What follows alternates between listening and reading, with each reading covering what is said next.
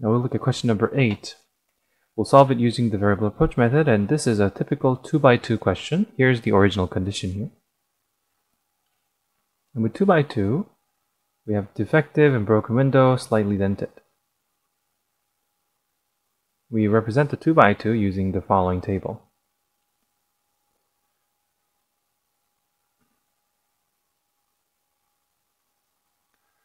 Okay, now with this, we fill it in using the original conditions.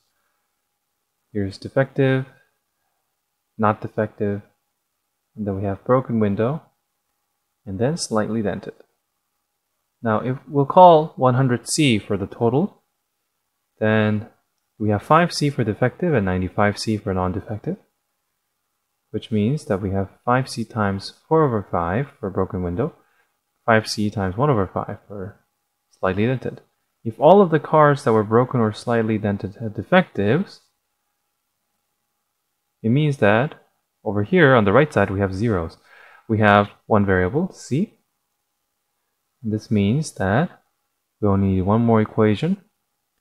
And now conditions 1 and 2 are each going to give us an equation, making it likely that D is going to be our answer. Actually, the D is the answer, so we'll look at conditions 1 and 2 separately. Here what we have is 5c times 4 over 5. The 5's disappear is equal to 4c is equal to 400. So c is equal to 100. It's sufficient. What about condition 2?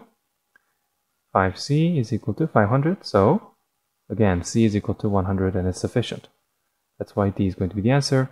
Remember, variable approach is the most recognized and efficient way of solving GMAT math problems.